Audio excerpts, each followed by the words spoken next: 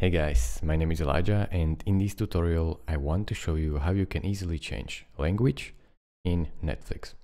So first just pick an account that you want to change language, sign into your account and then choose uh, the profile. So I want to change it to my profile.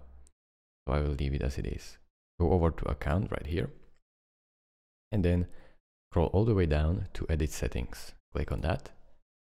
And now go over to preferences and underneath preferences you can see languages.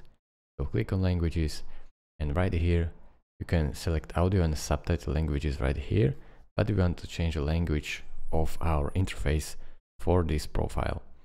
So display language is right here.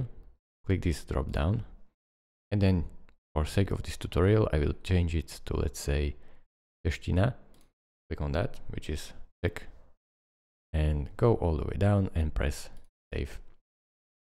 Now, as you can see, this profile is transferred. My uh, whole interface is transferred to Czech. If I want to go back, just click on this, then profile again, and go down, language, language, and change it back to English. Press save. Thank you guys for watching. If this video was helpful to you, consider subscribing and liking this video and I will see you in the next tutorial. Bye bye.